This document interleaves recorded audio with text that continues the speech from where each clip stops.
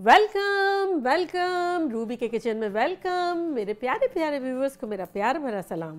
आज हम झटपट, बहुत ज़बरदस्त सा, ख़तरनाक सा बल्कि कह लो चिकन का कीमा बनाते हैं, आलू डाल के, वो भी मेरे स्टाइल में। तो चलिए स्टार्ट करते हैं। अगर आपको मेरी वीडियोस अच्छी लगती है तो लाल सब्सक्राइब का बटन दबाएँ।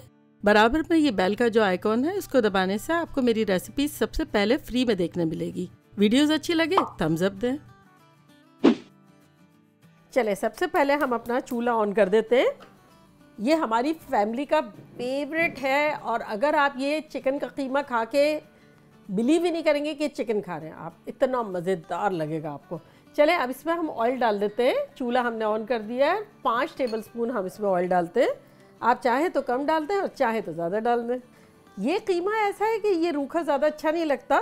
इसलिए अगर आप पाँच डाल देंगे तो ज़्यादा अच्छा रहेगा। अच्छा अब मैं इसमें डालती हूँ कीमा चिकन का, जो कि दो पाउंड है, यानी कि एक किलो के आसपास।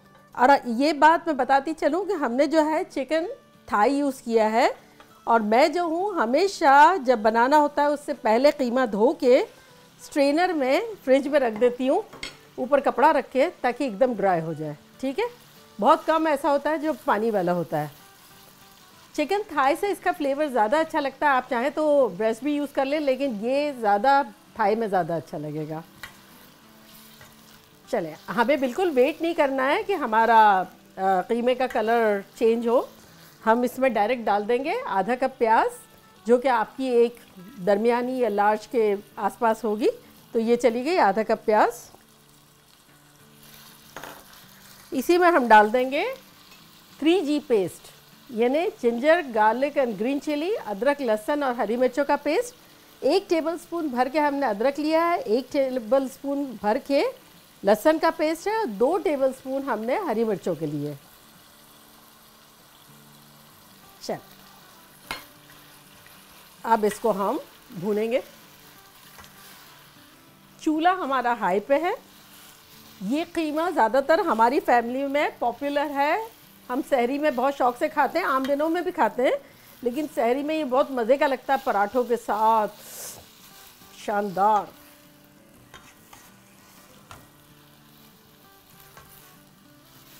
चले। बस थोड़ा बहुत हमने प्याज़ों को, अदरक, लहसन और हरी मिर्चों को भून लिया है। अब इसमें हम कुछ मसाले डालेंगे जो कि कुछ यूँ हैं। एक टेबल स्पून भर के धनिया पाउडर, एक टेबल स्पून भर के ज़ीरा पाउडर, दो टीस्पून नमक एक टीस्पून हल्दी, एक टीस्पून लाल मिर्चों का पाउडर एक टीस्पून गरम मसाला पिसा हुआ और एक टीस्पून पिसी हुई काली मिर्च। ये सब चला गया।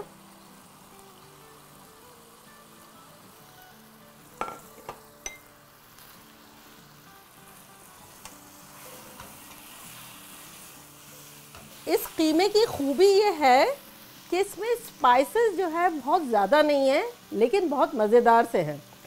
कुछ चीज़ें हैं जो ज़्यादा पड़ रही हैं और बहुत सारी चीज़ें नहीं पड़ रही हैं। तो मुझे अक्सर लोग कहते हैं कि भाई, आप कुछ ऐसा बताएँ जिसमें मसाले की जो है वैरायटीज़ बहुत ना हो। तो वो नोट कर लें, देखें, ये वो रेसिपी है।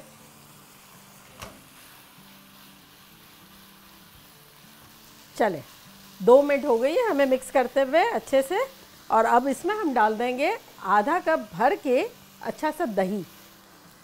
पहले हम दही को हिलाएँगे। जब दही अच्छे से हिल जाएगा, मिल जाएगा एक पोर्शन में, तब हम पूरे कीमे में इसको मिक्स कर देंगे। हाँ जी इसमें टमाटोज नहीं पड़ेंगे नो टमाटर और बहुत मज़े का लगेगा, बहुत हटके होगा इसका जायका। आप देखिएगा, मज़ा आ जाएगा।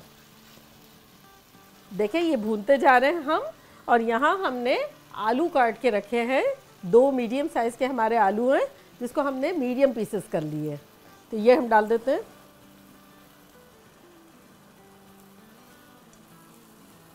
अब हम दो तीन मिनट तक आलूओं के साथ इसे कीमे को अच्छे से भूनेंगे।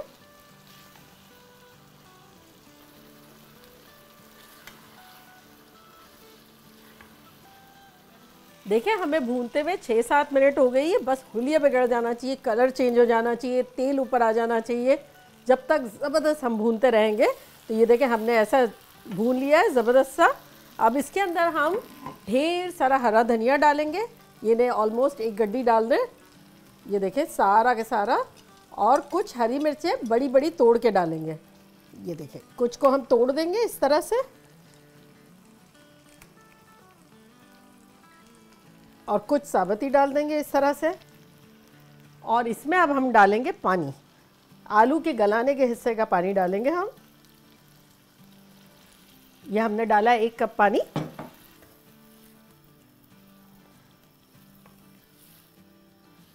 अब इसको हम कवर करके छोड़ देते हैं आलू के गलने तक।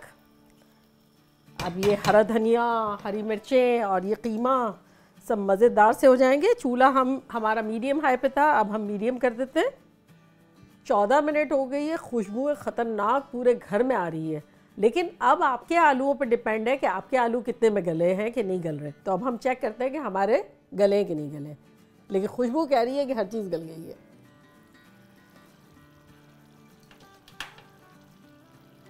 ये देखें ये देखें कितने आराम से ये देखें टूट गए आलू। और हमें ओवर कुक नहीं करना है, आलूओं को वरना तरी चली जाएगी, अच्छे से कुक करने। हैं तो अब ऐसा हो सकता है कि हम एक मिनट के लिए इसको बिल्कुल लो पे रख दें जितनी तरी आनी होगी, आएगी, फिर हम डिश आउट करते हैं। चले, देखें, एक मिनट हो गई है, हमने स्लो पे रख दिया था, ताकि हमारी तरी ऊपर आ जाए तो चले, अब हम डिश आउट करते हैं।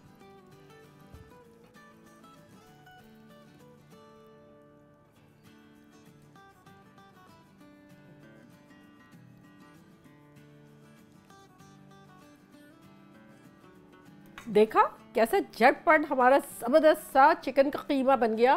वो कोई कह भी नहीं सकता, ये देखने में भी नहीं लग रहा है, खाने में भी नहीं, लगेगा आपको मटन खा रहे हैं आप।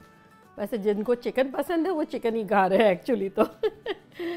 चले खुशबुएँ ख़तरनाक आ रही है, बर्दाश्त नहीं हो रहा। मैं आपके सामने ट्राई कर रही हूँ और वही वाले पराठों के साथ जो नहीं वर्की हमने सॉफ्ट वाले बनाए थे और फ्रीज़ भी किए थे।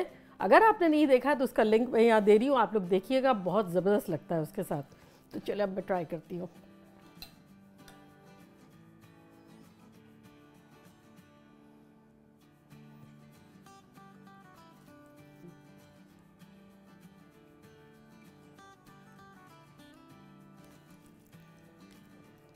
हम्म। इस कदर गजब का है थोड़ा सा नींबू छिड़केंगे हम्म। तो और भी ख़तरनाक लगेगा। हम्म, ख़तरनाक। ऐसा लग रहा है जब मैं छोटी थी ना जब होटलों से इस तरह का कीमा आया करता था। यादगार किस्म का पराठों के साथ खाया जाता था।